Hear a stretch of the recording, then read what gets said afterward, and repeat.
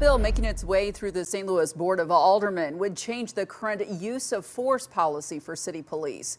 New guidelines include comprehensive reporting anytime an officer draws a gun, a new mandate on police training for trainees, annual financial and management audits of the department, and a ban on no knock warrants for municipal drug cases. This bill will be voted on this Friday.